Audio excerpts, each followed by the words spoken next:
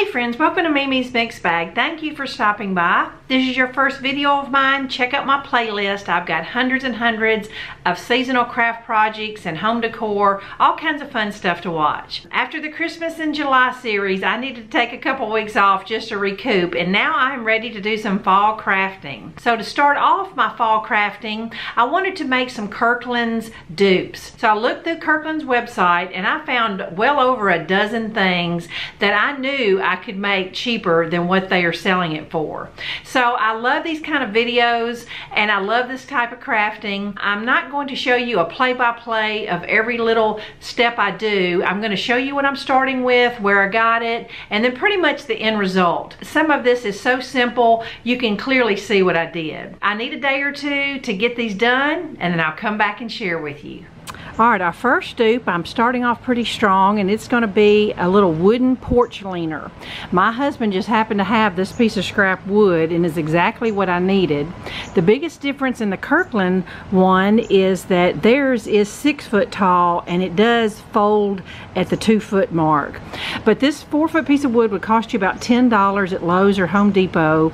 And then I just happen to have these Happy Fall Y'all stencils. These come from Amazon. They were about $7 for the pack and you get more in the pack and if you decided to do this project split the cost with a friend and it's even cheaper you you know just have a fun craft day but I've just got some orange and white paint some sponge brush and I got a can of clear spray paint so seriously I could make this for less than $20 I would say budget $20 to make this and would you just look at what they are asking for it it is on sale today for $63.74 for 20 bucks, we're gonna make our own Happy Fall Y'all porch leaner. So I'm gonna get this made and I'll show you what it looks like. All right, friends, before I start project two, I just want to say I'm going to save the finished projects for the end, just so I can show you a little side-by-side -side comparison of my version versus the Kirkland version. Now, the second project is what Kirkland calls a eucalyptus leaves beaded wood wreath. I think it's really pretty and it's on sale right now for $37.49 and it may go a little cheaper but even at a cheaper price I could still create almost identical with only using Dollar Tree products. At Dollar Tree they do sell the beaded ring but my Dollar Tree is always sold out of them. I have some wood beads and I picked up one of these little sphere wreath forms.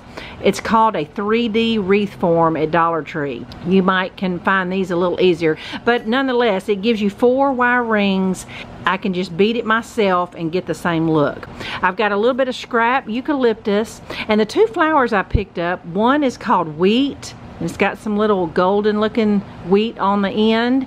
And the next one is foxtail. It's got a little burgundy brown, little fuzzy flowers. Very similar to what was in the Kirkland's one.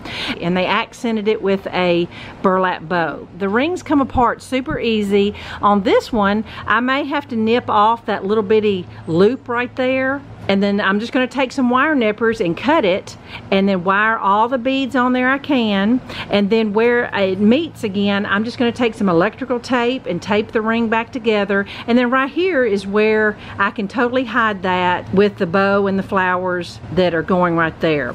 Super simple. Once I get my ring beaded it's just a matter of hot gluing or wiring everything on the ring. So this probably won't take me 10 minutes to create I just want to show you just in case you end up having to bead your own. These are 20 millimeter wood beads and I use 50 and I'm just gonna I'm not going to fill it up even though I've got beads to fill it up there this is going to be hidden anyway and so there's no reason to waste five or six more beads but I'm gonna put a spot of hot glue at the end of each bead just to keep it from sliding to secure the, all the beads in place but now I'm ready to show you my third Kirkland dupe.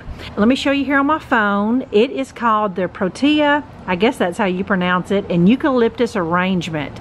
It's a really pretty glass jar and they are asking $39.99 for it and it's not even on sale this week. So I want you to, I'm gonna lay my phone down for a second and just show you this jar that I found that was very similar to the Kirkland one. This was originally $4.99 at Goodwill. I got it in the bins for maybe a dollar is what she charged me for it. But when I saw it, I knew that was the exact size and the shape of the jar that I needed.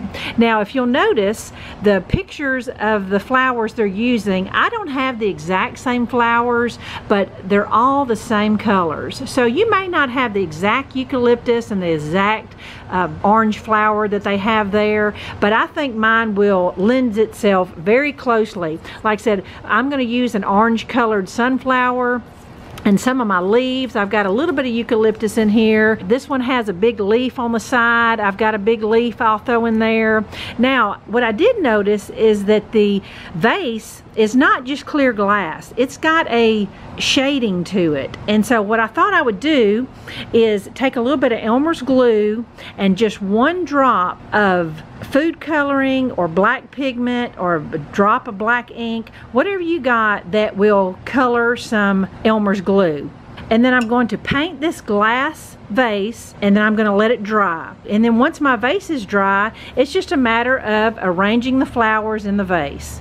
I wanted to come back and show you this glue mixture that I'm going to paint the vase. I used about two tablespoons of Elmer's glue and honestly my glue was a little old and it was a little thick and one drop of pigment is all it takes.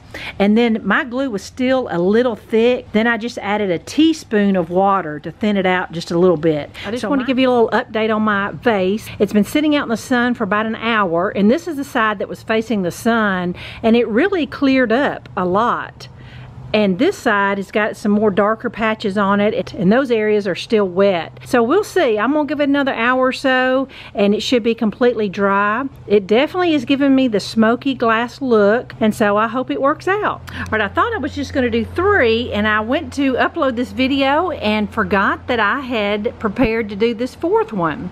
Let me show you here. What I recreated was this Hello Autumn framed canvas art print. It was 11 by 14. It's on sale this week for $33.74. Now the only difference between mine and theirs is mine is a couple inches smaller.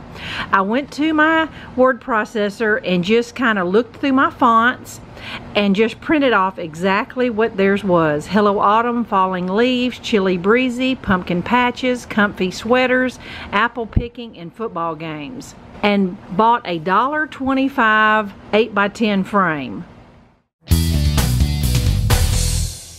All right, here's my version of the Kirkland's six foot porch leaner. Like I said, mine is four foot and not six foot. And my font for the happy and the y'all is a little different.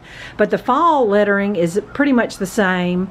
Same color. And I really like mine better than the six foot one to be perfectly honest with you. This took me an hour to create and save myself $50. All right, here is my version of the eucalyptus leaves beaded wreath.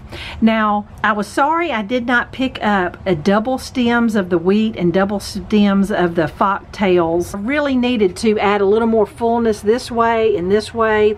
I did have to change my burlap ribbon because I didn't have enough of the other one. This is the exact size they had, but just a little different style of burlap, but it still gives me that same look. So if you do this, be sure and get two of the wheat and two of the foxtail, you will still be able to make this wreath for less than half price.